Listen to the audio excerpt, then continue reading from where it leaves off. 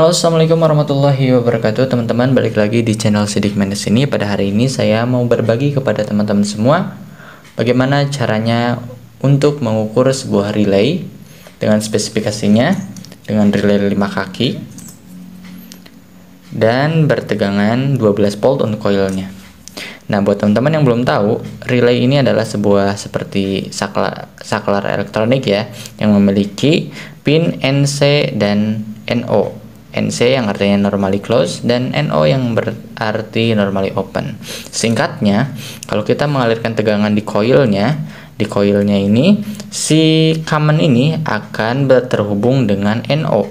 Nah, kalau kita putus tegangannya dari coil ini, si common ini akan terhubung dengan NC kembali gitu teman-teman itu adalah cara kerja simpelnya dari sebuah relay entah itu relay 12 volt 24 volt ataupun relay AC yang artinya setiap relay itu memiliki pin common coil NC dan NO seperti itu teman-teman. Nah sekarang saya mau berbagi kepada teman-teman bagaimana cara menentukan relay ini masih bagus ataupun rusak dan cara menentukan pin dari relay 5 kaki ini. Cara ini bisa berguna buat teman-teman yang kebingungan untuk menentukan pin dari relay ini untuk menentukan yang mana NC, yang mana NO, yang mana coil dan seperti itu ya teman-teman. Nah, teman-teman untuk pengukuran kita menggunakan apometer dan kita setel dikali 10 bisa, dikali satu bisa. Di sini saya menggunakan kali satu saja. Seperti biasa kita kalibrasi dulu untuk apometernya.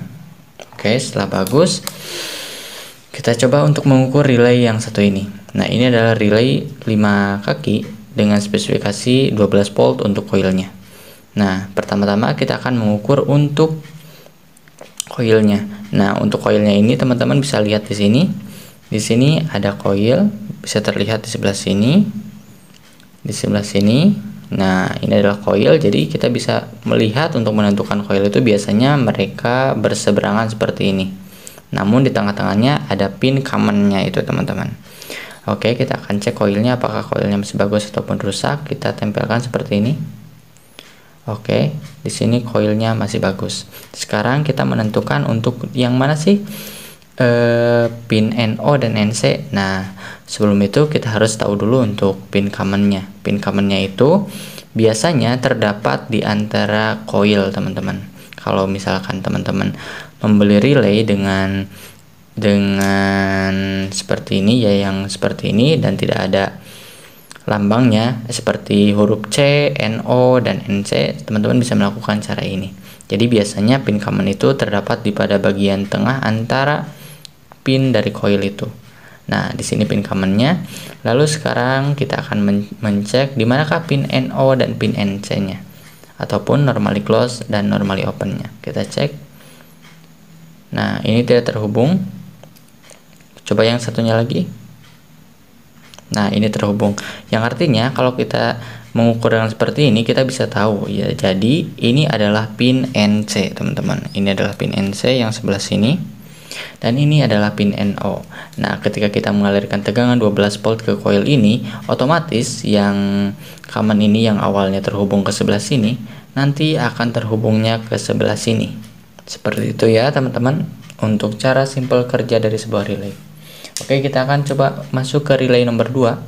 Seperti biasa teman-teman buat teman-teman yang mempunyai relay 5 kaki, teman-teman bisa mengeceknya dengan cara ini karena pada umumnya relay 5 kaki memiliki pin seperti ini ya, tidak ada bedanya gitu teman-teman. Namun ada sebagian yang berbeda gitu. Teman-teman kita akan cek untuk coilnya di sini. Oke, terhubung kita cek kembali untuk NONC nya oke nah ini NC nya terhubung normally close. Kita cek normally open nya dia tidak terhubung. Yang artinya bisa kita simpulkan kalau dua pin ini adalah coil yang masuk dengan 12 volt dan ini adalah common yang terhubung ke NC dan ketika kita mengalirkan tegangan dia akan terhubung ke NO nya seperti itu. Buat teman-teman yang bingung dengan fungsi dari relay ini sebagai tambahan, relay ini berfungsi sebagai uh, kurang lebih seperti saklar elektronik ya, saklar otomatis. Jadi saklar ini berfungsi ketika kita mengalirkan tegangan 12 volt ke bagian coilnya. Mudah-mudahan bermanfaat. Wassalamualaikum warahmatullahi wabarakatuh. Untuk next saya akan langsung mencobanya untuk bagaimana cara menginstalasi sebuah relay 5 kaki. Relay 12 volt, 24 volt itu sama saja nanti saya akan bahas di video selanjutnya. Mudah-mudahan bermanfaat. Wassalamualaikum warahmatullahi wabarakatuh.